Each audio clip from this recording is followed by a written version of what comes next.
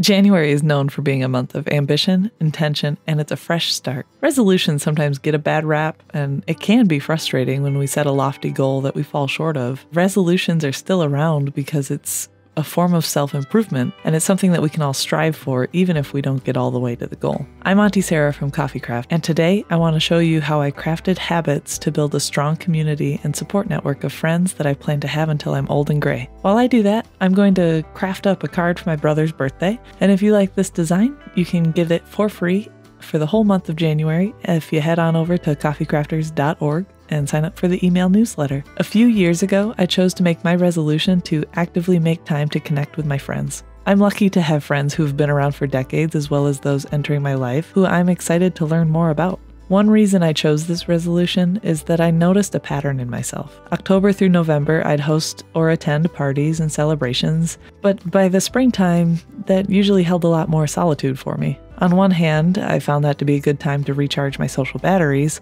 but on the other, I noticed that I felt lonely and I struggled to find the next event to look forward to.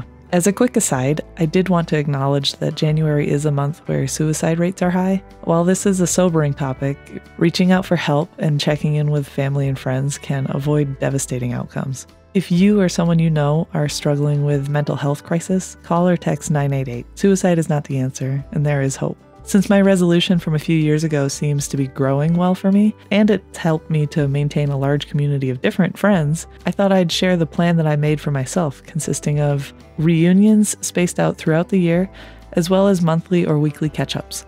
In the springtime, I travel across the country to spend my birthday with Auntie Christine and her family at Disneyland. I see a set of friends for a girls' weekend trip to craft in a cabin, and I plan a Memorial Day weekend to see my high school friends as a yearly reunion. In the summer, I spend more time regularly playing sports or hiking locally with friends. I plan beach trips, and I plan some camping too. Autumn starts the season of more traditional parties and celebrations where I generally see my family more often.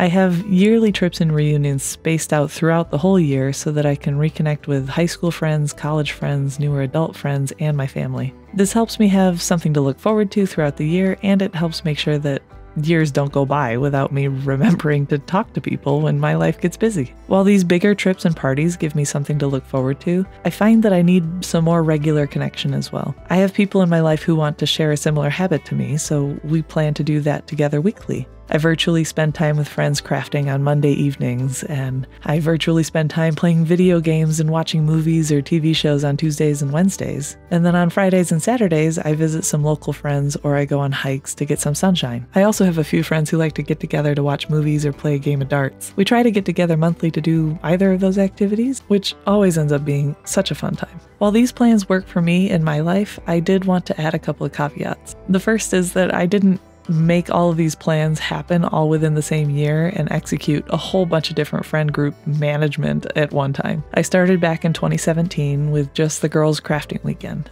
And then I added the high school friend reunion trip in 2018. We started up the crafting Mondays on 2019. Through 2020, we added some virtual movie nights and video games, the Disneyland trips and dart nights that happened in 2022. Secondly, not all of these plans need to be a big financial investment. I've been lucky to be able to plan trips to visit so many of my friends, but most of my time we're doing free activities. Hiking, dart nights at home, movie nights, game nights, they're all great options that are low cost or free. If you do want to travel to see friends, you could do something similarly to how Auntie Christine and I met halfway in Denver, planning the entire trip around when the cheapest plane tickets were that month. Thirdly, these plans for connections are something that I think will vary vary depending on your social meter. I see myself as a pretty socially motivated person, but I'm friends with both extroverts and introverts. I found it's important to talk to those in my life to find out what kind of activities and what regularity they're up to, and respect it if they don't have time to see me as often as I would like.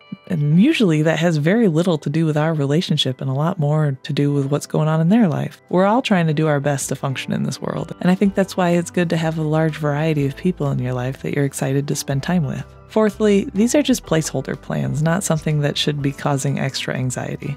While I usually attend as expected, I also have friends that understand when I'm not feeling great, whether I'm under the weather, burnt out, or I just need a break. We always just plan to try again next time, and we all know the intention is to continue to stay connected. I plan to have these friends and maybe a few more by the time I'm 80 if I can manage it.